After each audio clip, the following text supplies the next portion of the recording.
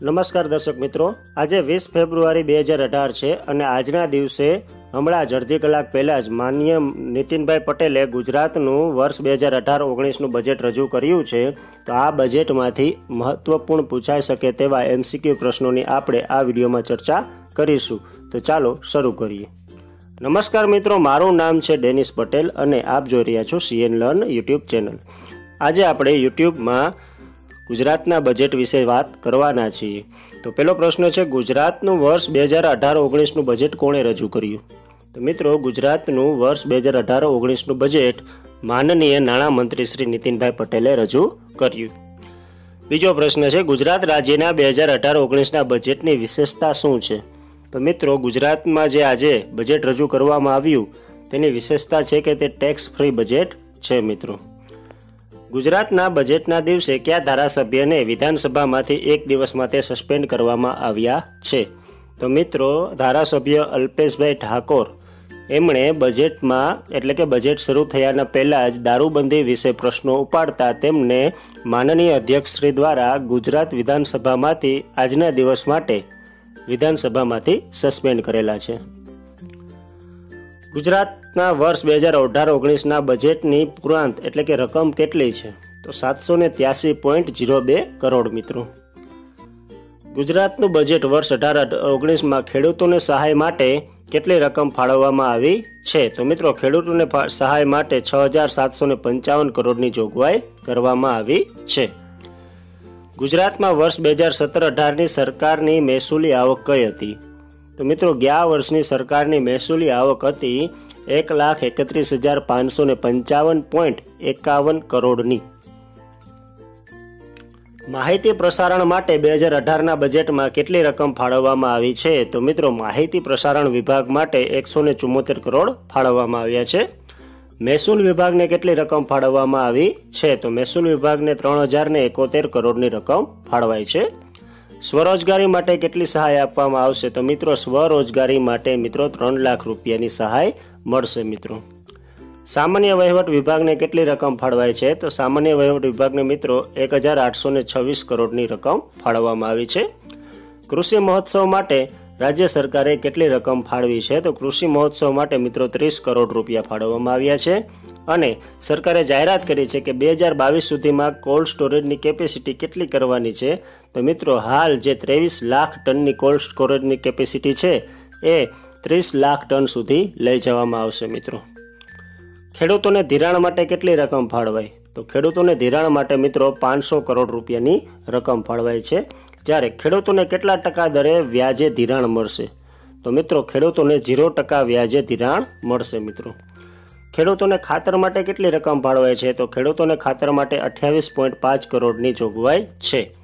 ખેડૂતોને સબસિડી માટે કેટલી રકમ ફાળવવામાં આવી છે? તો વર્ષ બે હજાર અઢાર ઓગણીસના બજેટમાં ખેડૂતોને સબસિડી માટે બસો કરોડ રૂપિયાની રકમ ફાળવવામાં આવી છે. ખેડૂતોને ટેકનિકલ મદદ માટે કેટલી રકમ ફાળવવામાં આવી છે? તો ખેડૂતોને ટેકનિકલ મદદ મળી રહે તે માટે પાંચસો અડતાલીસ કરોડની માતબાર રકમ ફાળવવામાં આવી છે. બજેટ મુજબ રાજ્યમાં કેટલી નવી વેટરનિટી હોસ્પિટલ બનાવવામાં આવશે તો મિત્રો વર્ષ બે હજાર અઢાર ઓગણીસના બજેટ મુજબ રાજ્યમાં બે નવી વેટરનિટી હોસ્પિટલ બનાવવામાં આવનાર છે. કૃષિ યુનિવર્સિટીના વિકાસ માટે રાજ્ય સરકારે વર્ષ અઢારના બજેટમાં કેટલી રકમ ફાળવી છે? તો મિત્રો, કૃષિ યુનિવર્સિટીના વિકાસ માટે સાતસો ને બે કરોડ રૂપિયાની રકમ ફાળવી છે. રોજગાર ભરતી મેળા યોજીને કેટલા યુવાનોને રોજગારી આપવામાં આવશે? તો વર્ષ બે હજાર અઢાર ઓગણીસમાં મિત્રો, રોજગાર ભરતી મેળા યોજીને ચાર લાખ યુવાનોને રોજગારી આપવામાં આવશે. હવે વાત કરીએ એક યોજનાની મિત્રો. જે નવી ચાલુ થઈ છે, મુખ્યમંત્રી એપ્રેન્ટિસ યોજના અંતર્ગત કેટલી સહાય? તો મિત્રો, જે મિત્રો કોઈપણ જગ્યાએ ફેક્ટરીમાં કે ગમે ત્યાં નોકરીએ રહે છે, એપ્રેન્ટિસ તરીકે જેમ કે તે ગ્રેજ્યુએટ છે, ડિપ્લોમા પાસ છે કે ધોરણ બાર પાસ છે. તો દરેક સરકારે, અત્યારે ગુજરાત સરકારે એવો નિર્ણય લીધો છે આ બજેટમાં, કે જેટલા પણ કારખાના છે, ત્યાં અઢી ટકા કર્મચારીઓ, એટલે કુલ કર્મચારીઓના અઢી ટકા કર્મચારીઓ એપ્રેન્ટિસવાળા રાખવાના છે. એ અઢી ટકા કર્મચારીઓને કારખાનાવાળા તો પગાર આપશે જ. પ્લસ રાજ્ય સરકાર પણ એમને પગાર ચૂકવવાની છે. તો એ પગાર આ રીતે મળશે, જો ગ્રેજ્યુએટ કારીગર કામે રહેશે તો એમને ત્રણ હજાર રૂપિયા, ડિપ્લોમા પાસ ડિગ્રી ધારકને બે હજાર રૂપિયા અને ધોરણ બાર પાસ કોઈ વ્યક્તિ કારખાનામાં કામે રહે તો પંદરસો રૂપિયા અલગથી મહિને સરકાર મુખ્યમંત્રી એપ્રેન્ટિસ યોજના અંતર્ગત આપશે મિત્રો. રાજ્યમાં કેટલી નવી સરકારી ભરતી કરવામાં આવશે?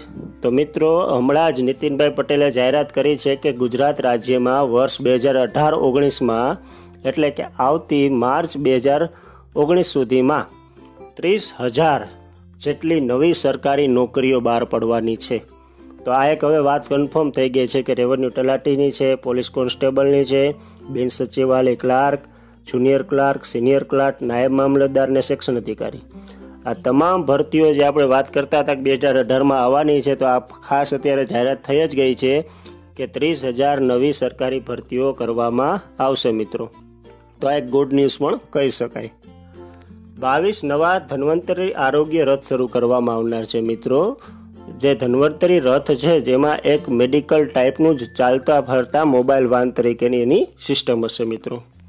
હવે ધોરણ બાર પાસને બાર પાસ કરીને જે વિદ્યાર્થીઓ કોલેજમાં એફવાયમાં જોડાય છે, એમને રાજ્ય સરકાર ટેબ્લેટ આપતી હતી, એક હજાર રૂપિયાના ટોકન ભાવે. અત્યાર સુધીમાં રાજ્ય સરકારે ત્રણ લાખ ટેબ્લેટ આપી દીધા છે અને વર્ષ બે હજાર અઢાર ઓગણીસના બજેટમાં નવા ત્રણ લાખ વિદ્યાર્થીઓને રૂપિયા એક હજારની સહાયથી નમો ટેબ્લેટ આપવાનું બજેટમાં રજૂ કરવામાં આવ્યું છે. તમામ શ્રમિકોને રસોડાની કીટ વિમા વિનામૂલ્યે આપવામાં આવશે મિત્રો. શ્રમિકોને મિત્રો રૂપિયા દસમાં ટિફિન માટે, એટલે કે રૂપિયા દસમાં ભોજન માટે એકાવન શહેરોમાં કેન્દ્રો શરૂ કરવામાં આવશે. શિક્ષણ ક્ષેત્રે મિત્રો સત્યાવીસ હજાર ત્રણસો કરોડની ફાળવણી કરવામાં આવી છે. મધ્યાહન ભોજન યોજના માટે મિત્રો એક હજારને એક્યાસી કરોડની ફાળવણી થઈ છે અને આરોગ્ય અને પરિવાર કલ્યાણ વિભાગ અંતર્ગત મા વાત્સલ્ય યોજનામાં જે લાભાર્થી વ્યક્તિઓની આવક મર્યાદા પહેલાં મિત્રો અઢી લાખ રૂપિયા હતી, એ વર્ષ બે હજાર અઢાર ઓગણીસના બજેટમાં વધારીને ત્રણ લાખ રૂપિયા કરવામાં આવી છે. તો આ એક પ્રશ્ન ખાસ તમારે યાદ રાખવાનો રહેશે. હવેથી ત્રણ લાખ રૂપિયા આવક મર્યાદા છે મિત્રો, મા વાત્સલ્ય આયોજન યોજનાની. હવે મિત્રો જે લોકો સાઠ વર્ષ કે તેથી વધારે ઉંમરના છે, એટલે કે સિનિયર સિટીઝન વ્યક્તિઓ છે, એમના પરિવારમાં, એટલે કે કોઈ પરિવારમાં પરિવારની વાર્ષિક આવક છ લાખ રૂપિયા કે છ લાખ રૂપિયાથી વધારે છે, એટલે કે છ લાખ સુધીની આવક મર્યાદાવાળા પરિવારમાં કોઈ સાઠ વર્ષથી ઉંમરના ઉપરના વ્યક્તિઓ હોય સિનિયર સિટીઝન એમને કોઈ પણ સરકારી હોસ્પિટલોમાં અને નક્કી કરેલી હોસ્પિટલોમાં મિત્રો વિના મૂલ્યે સારવાર આપવામાં આવશે મિત્રો. દૂધ સંજીવની યોજના અંતર્ગત મિત્રો ગરીબ વિદ્યાર્થીઓને ફ્રીમાં ફ્લેવર્ડ મિલ્ક આપવામાં આવશે અને એમાં સરકારે હાલ જાહેરાત એમ કરી છે કે પહેલાં તો જે પછાત અને આદિવાસી જિલ્લાઓ છે ત્યાં આ યોજના શરૂ કરવામાં આવશે મિત્રો.